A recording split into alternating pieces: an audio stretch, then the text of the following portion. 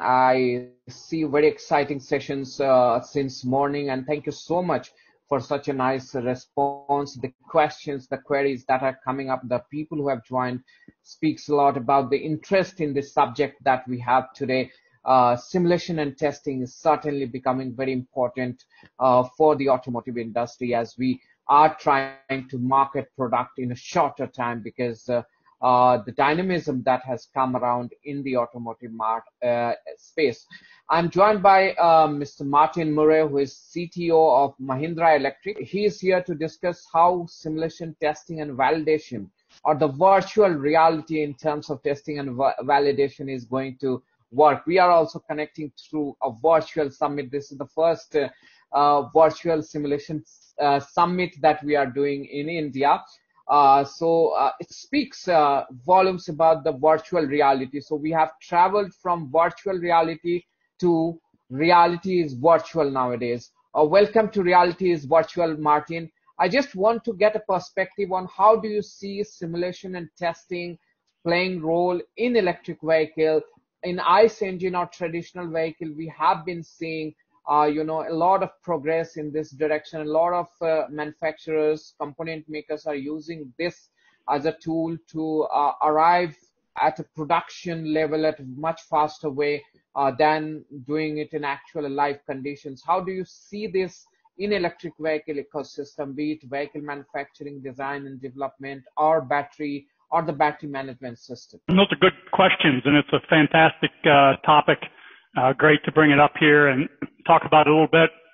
You mentioned kind of the industry of internal combustion and the modeling tools and the simulation uh, was really designed, you know, around the thermodynamics, gas flows, tribology, uh, and some of these characteristics that are unique uh, and critical to internal combustion.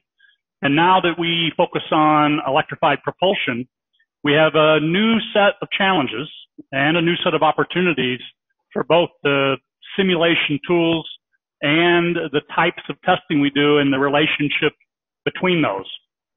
So the dominant tools in the electric propulsion space are focused around um, electrical performance, thermal management. Uh, we have a lot of structure, and we also look at uh, EMI, EMC, uh, as well as radiated noise.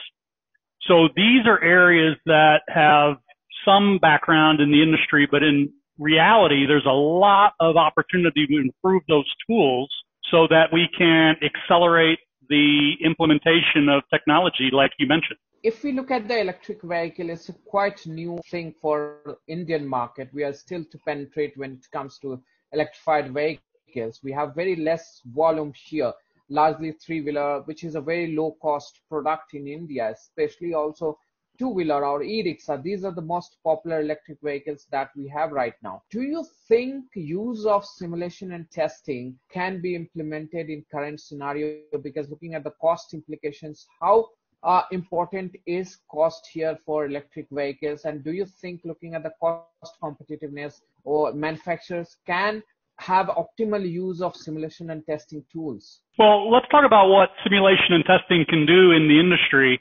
And I'll mention a little bit of how we've used these tools specifically on the products that you mentioned that are popular and indigenous here in India. So we, we find that the simulation tools really enable three different areas of improvement. The first is it lets us take bigger steps in terms of how we're going to move forward with technology and how we're going to move forward with localization because it allows us to consider bigger ideas and broader use of technology because we're able to look at it early in a virtual environment. The second thing it does, uh, and you mentioned this, is it allows us to accelerate our processes because we don't wait to build first parts to see if they work. We have good confidence from virtual work that our designs are sound, and that way we accelerate the development and the validation through that early confidence from the uh, digital twin. And then the final way is that we see a cost reduction in the development process because we can use fewer physical properties to get the same level of confidence. And we do that by building and testing physical parts, comparing the results to our models, verifying and validating that our models are accurate, and that way we can build confidence in both ways. So we look at two separate forms of confidence in the products, and that allows us to move faster, take bigger steps, and have higher confidence with fewer physical properties before we take these to market. And we're doing this right now on these three wheelers, uh, some of the e-rickshaw and the e-autos that we do today because we've been rapidly localizing core parts and we've been using the simulation technologies, especially in the area of structural and structural and thermal analysis. It's been extremely effective. Uh, structural is common with ICE engine vehicles also, but thermal is something uh, more focused in electric vehicle when it comes to testing and validation. It becomes very important compared to ICE engine, right? Yeah, we, we have a lot of thermal limits and, and really thermal management and cost are highly related. So a lot of the cost in electric propulsion systems is in the thermal management area.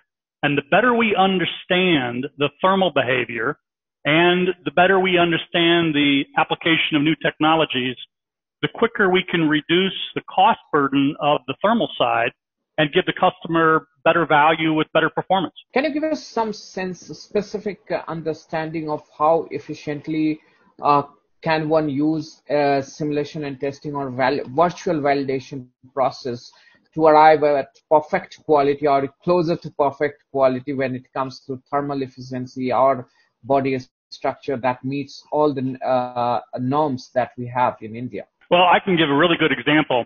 Um, we have now developed a couple of different kind of class leading affordable thermal systems for batteries. In the past products, we've actually had some uh, patents in the thermal management using air cooling that was designed looking at airflow and looking at the consistency of thermal management throughout a battery pack using air cooling. And now we're in the process of, of the launching the most affordable electric four wheeler in India using thermal management with liquid cooling. And we were able to do this based on experience, looking at these systems with some tools that we had some confidence. And we ended up matching the performance in the laboratory with the performance that we modeled very closely. So we think that we went quickly, very quickly into a place where we're going to have excellent thermal performance of the battery which translates into life and into utility for the customer.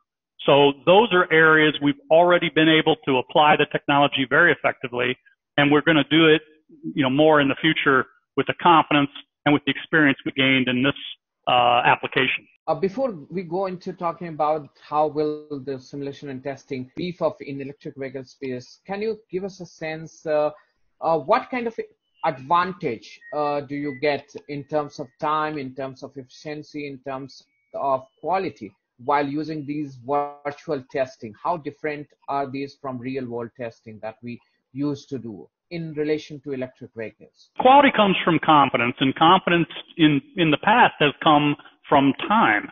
You know, we build, we test, we use the products for a period of time, we build confidence, and then we have the ability to launch with quality.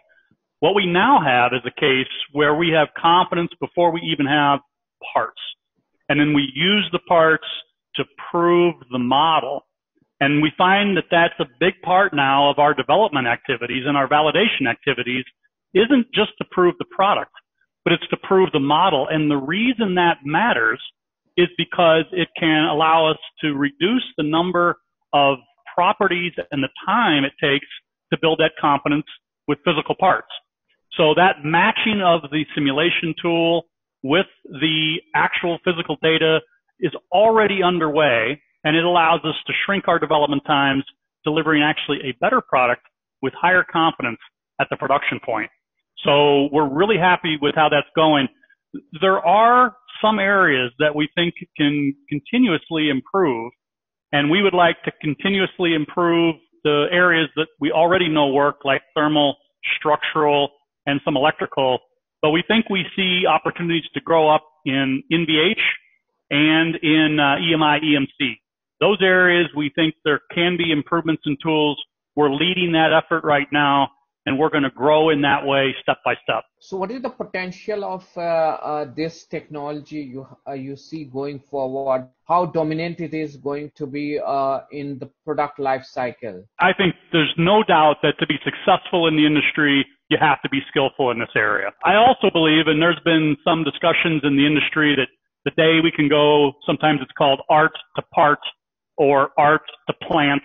You know, take an idea, put it on the computer, push the simulation and validation button, whole thing is done, and then you just send the drawings to the factory, and uh, engineering takes just a few months. Uh, that's probably not in the next few generations of products, but every single part of the product, whether it's a box that holds some mechanical or electrical parts, whether it's electrical systems that do conversion or do uh, transformation to do power device controls, we think all of those areas are going to benefit. So we do thermal analysis across our entire suite of products, uh, including motors and controllers and batteries, all these systems. So everything can benefit. And we're pushing that envelope forward. And the whole industry is doing that. And we expect that people who are our partners and our tier one, tier two suppliers have that capability as well. So when we're getting parts from them, they've already done manufacturing analysis. So they have high confidence in producibility and quality. And then we can take those parts, put those parts into physical tests, verify our models. And it's not a dream. It's the kind of work that we do today. So component maker equally supporting on this and they are equipped with the simulation and testing tools. Uh, uh, that's how you are working jointly to deliver uh, products in shorter time in much better quality also if we talk about simulation and testing or bringing product design, validation, and testing uh, to the virtual world, how much of it we have really achieved in bringing to virtual world and how much it is left that we can in near future or going forward we look forward to bring to the virtual world without impacting the quality well i think the you know the day when we can go uh, from your mind to the factory and produce that car in a few weeks uh, that's the goal. And none of us are going to um, not think about the ability to get to that point in the future. But we have to do some uh, incremental steps in development. I mentioned that mechanical and thermal are really strong points now in the industry. Uh, we think that there can be growth, a lot of growth in NVH and in uh, EMI, EMC because today a lot of times we still have to kind of test the product to really understand how those particular characteristics uh, respond to the design. But I, I think also that we want to strive to have a multi-physics model of battery behavior. You know, at a cell level, at a molecular level, that's being worked on throughout the industry, both in the, you know, in the laboratories of universities as well as in the leaders in battery production and development. But a multi-physics model that can rapidly predict the life cycle behavior of different battery technologies, that's going to be a breakthrough that's going to let the industry accelerate low cost, high performance energy storage, which is what our customers want. And then we're going to be the first ones to put that into, you know, customer hands. Before we end, I will ask two more questions. One, we have seen a lot of startups coming up in electric vehicle space. Uh, can you give us uh, give an advice to them? How can they use simulation and testing uh, to reduce the cost of production, or when they are developing a prototype? What would be your advice uh, to them? Because they are mostly uh, they have cash crunch. They can't uh, spend very generously because that, that's biggest constraint. How can simulation and testing help them you know, uh, in their journey to start or to bring out product? Well, that's a great question. Um, and I do want to say that for the benefits that we've seen in terms of larger steps with technology, acceleration of work, and reduction in properties, this is really the result of kind of building the ecosystem within our company and feeding back what we learn. So my advice to startup companies in this space, which, you know, I encourage everyone to embrace electrification. So, you know, bring it on. Everybody can jump in, but do spend the time and put the effort into correlating what you think you simulated into what you actually test. And it's that relationship between the physical world and the virtual world that has to be strong and it has to be developed with confidence. So if you overstep and you believe your simulation before you have a chance to really prove it in the real world, you may make some uh, errors. And my advice then is to make sure you correlate back to your virtual system with what you test and don't cut corners in that area. Otherwise you lose that growth in terms of learning the system and learning how to build your next model with even more fidelity and more capability. Can you share some, uh, you know, case study or some key challenges that you face in terms of testing validation uh, through virtual uh, world, like uh, which is called simulation and uh, testing through simulation or any other virtual tool? What are the key challenges that you feel uh, you have faced that you want to overcome? Yeah, I think the key is knowing where the tools are most useful. And I had mentioned two areas that I think the industry and in our own company we can improve. Uh, one is NVH. Uh, we would love to be able to model a system and have great confidence in the performance from noise and vibration and harshness. You know, what is the customer experience? Because people expect electric drive to be silent. And they should expect that because that's what we want to deliver in the long run. But we find that we can still improve in that area. And then the second area is. So do you uh, think a simulation is not able to provide you 100% accuracy in testing NVH? Yeah, I, I think that our tools, well, because the complexity of the system, we have magnetics, we have structure, and we have things like gear trains. And so we really need a multi-physics approach that takes into account all these systems. And I'll make one example is the electric motor. We have, you know, so many poles. So we have sort of a torque ripple uh, variable that's part of the motor design. And that torque ripple characteristic actually radiates through the drivetrain and creates a acoustic system that we have to be able to anticipate and then design so the natural frequencies of that acoustic system don't uh, offend the customer.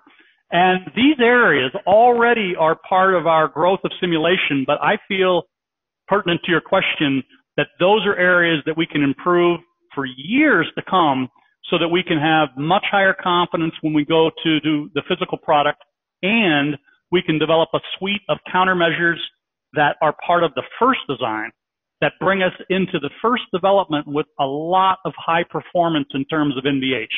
So that's an area where I think the industry and our team is going to continue to focus and grow. Thank you so much, Martin, for joining ETAuto Simulation and Testing Virtual Conclave.